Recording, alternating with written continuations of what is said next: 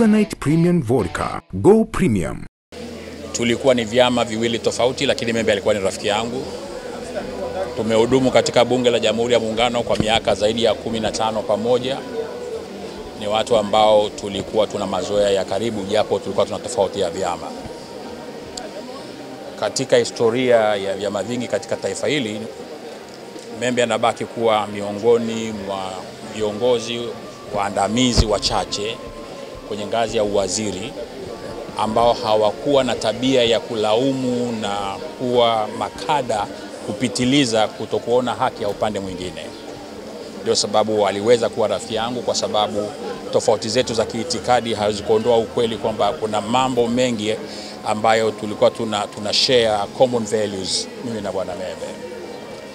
Kwa hiyo nimeupokea kwa mshtuko mkubwa msiba huu, kwa masikitiko makubwa sana. Uh, nimempoteza rafiki, tumempoteza mwanasiasa mbobezi, tumempoteza mwanasiasa mzoefu wa kitaifa na kimataifa.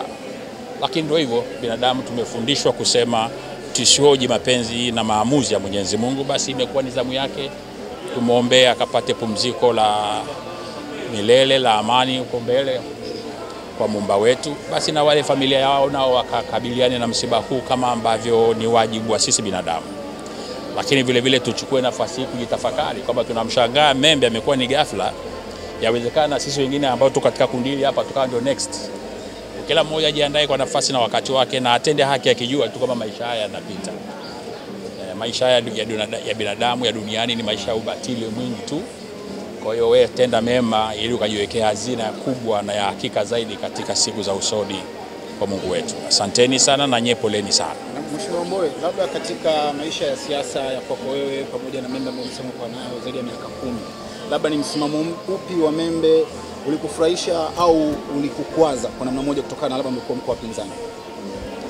Um, ni, ni vyema ni wakati wote lazima uweze kutofautisha masuala ya taasisi zetu tunazozitumikia au tunazoziamini na mtu binafsi. Sasa ni, siwezi nikamhukumu Mheshimiwa Membe kwa kila linalofanywa na taasisi au serikali yake kwa sababu tu alikuwa mwana CCM. CCM mimi imenikwaza na sisi imetukwaza kwa muda mrefu, lakini haiondoi ukweli kwamba bado tuna mahusiano na baadhi ya viongozi na wanachama na binadamu wenzetu ndani ya Chama cha Mapinduzi. Kwa hiyo haiondoi ukweli huo. Sasa ukiniambia ni mambo gani ya kisera, utakuwa unanipeleka kwenye wajibu wa kitaasisi. Tuishie hapo hapo kwa kibinafsi. Nje ya siasa, Membe alikuwa ni mtu aina gani unamfahamu? Mtu mcheshi. Ni vigumu sana kumkuta Membe amekasirika. Hata akikasirika na kasirika huko ana smile. Yeah, alikuwa very accommodative. Yeah, alikuwa accommodative. Alikuwa ni mtu informed vile vile. Ni mtu alikuwa anajitambua, na exposure. Kwa hiyo sio mtu mjinga mjinga, ni mtu ambaye alikuwa anajitambua vizuri tu.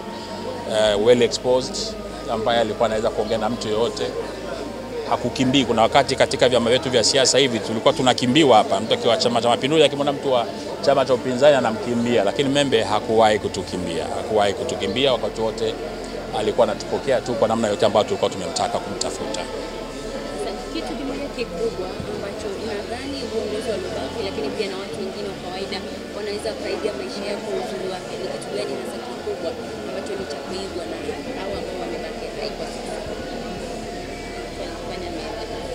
Ni mtu alifurahia maisha yake wakati wote. He was full of life. Hiyo live your life anytime you can exit. He lived his life and you live your life. Asanteni sana.